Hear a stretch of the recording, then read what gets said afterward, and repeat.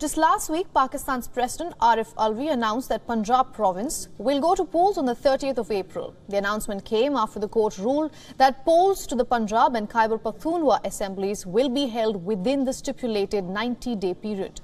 Ahead of the crucial polls, Pakistan's ruling coalition partners, the PPP and the PMLN, do not appear to be on the same page a multi-party coalition led by Prime Minister Shehbaz Sharif of Pakistan's Muslim League Nawaz or the PMLN is ruling the country.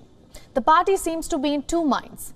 They are still deciding if they should go to polls or challenge the Supreme Court order. On the other hand, the Pakistan People's Party, a key partner in the ruling coalition, is busy with poll preparations. The chairperson of the PPP has directed the party to seek applications from poll aspirants.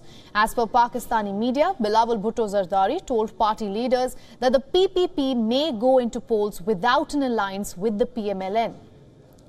Leaders of the PMLN, steered by the Sharifs, are adamant that polls cannot be held on the wishes of ouster Prime Minister Imran Khan. The party spokesperson, however, has denied any confusion with regards to the electoral approach. The spokesperson said that parliamentary boards will soon be announced to issue poll tickets. PMLN says that they are seeking justice for former Prime Minister Nawaz Sharif and want Imran Khan to be held accountable in his legal cases.